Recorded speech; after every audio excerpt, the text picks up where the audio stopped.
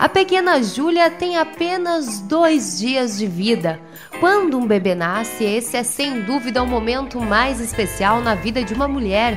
Por isso, nessa hora, a assistência e cuidados básicos são mais que importantes.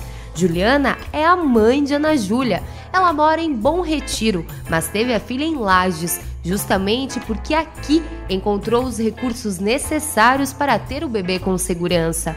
Agora é só alegria ao lado da pequena. É, é bom porque é um, tá adequada, né? Tá quentinho, tá num lugar fechado. Tá, que nem a gente que não é daqui recebe um, um tratamento melhor. A gente é bem tratado. Tudo isso é bom para eles, para gente, para se recuperar bem. Em 70 anos de história, o Hospital e Maternidade de Teresa Ramos se tornou referência em atendimento a gestantes. Por mês são cerca de 300 nascimentos na unidade. Destes, 55% dos partos são normais, realizados pelas enfermeiras obstétricas, que ficam 24 horas por dia no hospital. Maiura é responsável pelo projeto Rede Cegonha, que já está em fase de implantação e prevê várias ações voltadas para as mães e os seus bebês. No sentido de prestar uma assistência ao prematuro, uma assistência humanizada, adequada.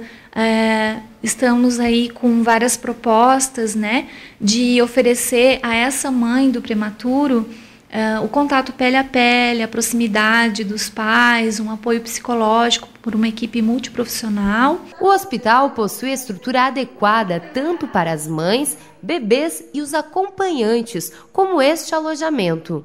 Todo o auxílio, todo todo o acompanhamento, tudo, desde a hora que cheguei até, até agora.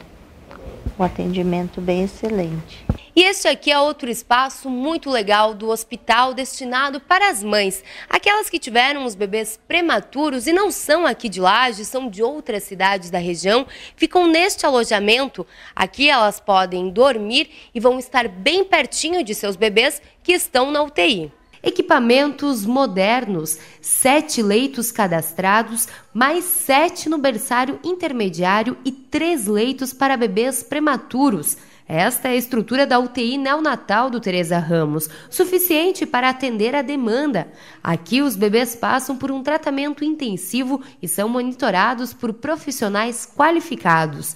O Hospital Teresa Ramos atende 16 municípios de Santa Catarina, um trabalho que já foi reconhecido, mas que, segundo a instituição, ainda deve ser melhorado para atender cada vez os pacientes e, é claro, as mamães e seus bebês com o máximo de qualidade.